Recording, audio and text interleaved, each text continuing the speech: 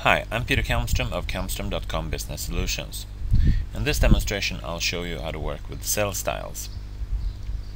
As you see I have some data here and if I hand this out to people now it's very easy for them to just say that well I think April is going to be a bit higher than that so they'll just change the numbers here and that looks as if it's going to work looks fine but then you see if I change the prognosis here for the entire year and can make that 10% the 60,000 doesn't really change, all the others change, but so that's not a good thing.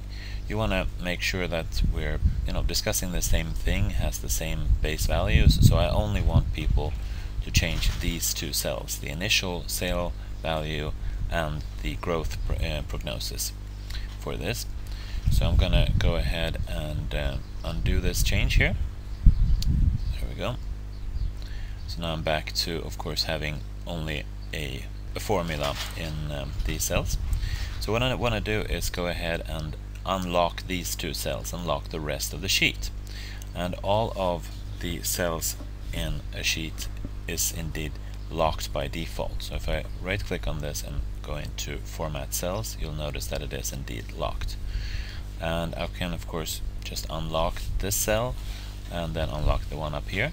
But instead I'm going to create a new cell style new cell style here and editing cells. And the only thing I want to define here is actually the lock and I want to make sure that these are indeed unlocked. So I'm going to uncheck that. Okay so protection no protection is what's defined in this style. So now I'm going to apply that style to these two cells. So I press the control key on the keyboard so that I can select both of these and then now I apply the style here. And now if I check these cells and right click again they should indeed be unlocked. Okay that doesn't really make any difference until you actually lock the sheet. So I'm going to right click and lock the sheet or protect the sheet. And I usually don't put in a password because I want to protect against you know I want to make it simple to do the right thing um, but if they really want to change something then of course uh, the password is not all that secure anyway so. Anyhow now this is indeed locked so I can change this. So I can change the initial value here and that works just fine. And uh, but if I go in and change the value here that I tried to change before you see it's locked. Of course now that I have this it might be good to give a visual cue to the users that these cells are indeed the ones that you should be editing. And I'm going to unlock the sheet first or unprotect the sheet. And then I'm going to go in and modify the cell style that I already started. Modify that. And now I can go and do the fill.